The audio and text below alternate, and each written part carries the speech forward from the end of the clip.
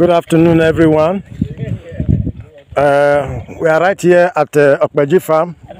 Just a short visit to Opeji Farm today, Thursday, the 8th of uh, July, 2021.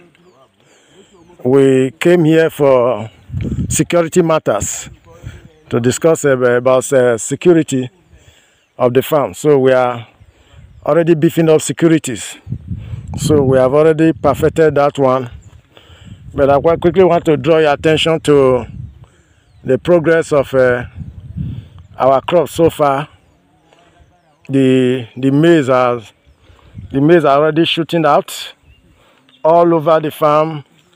You see the beautiful color of the maize and uh, in the farm. So the the maize are already out and uh, from now we'll be counting our our weeks. We'll be counting our weeks. And uh, we're already looking forward towards uh, towards our harvest. So the cassava will be following suit now. Now that the maize are out we'll be able to identify where and where in between where to place our cassavas. So that's the essence of waiting after the planting of the maize to to see that uh, we are able to get it correctly so that we will not uproot the maize that we have planted. One of the beautiful things i notice here is that almost all the maize planted germinated if you look at it you see the beauty the colorful the beauty of it. They just germinated one after the other. It's in line. It's in line. When you look at it it's in line which means none is missing. The one that goes into the soil they all germinated. This is the beauty of uh, the chemicals we applied initially the no ones were eaten up by the rodent no one were destroyed by the by pets.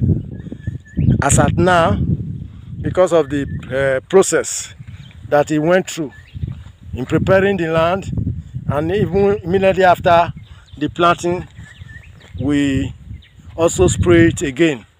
So it's so beautiful.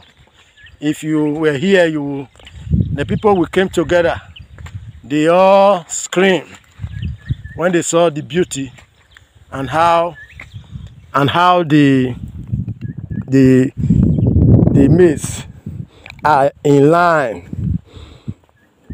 The beauty of it. So that is a that is the uh, update for now. Like i told you uh, we just uh, we resume uh, we resume farm by next week just allowing these things to spring up so that uh, we'll be able to carry out the the cassava of it right over there you can see the cassava stems hip up. They are there the stems are there that we are using and more are still coming.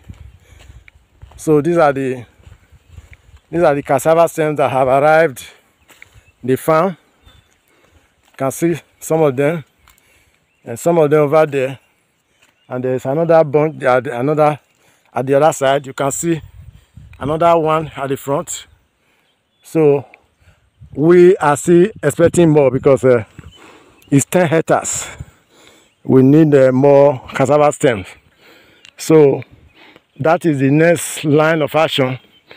Now that the the maize has sprung up and uh, we can now identify where and where to put uh, our cassava so this is just the the latest update and uh, i just wish to make this uh, short this short clip to to make people like we like we promised that uh, we'll be giving step by step uh, progress of the farm so that you at home you that is there you will know how far we are going and you know that it's time that the time is now to to come aboard and uh, do whatever you want to do So thank you very much.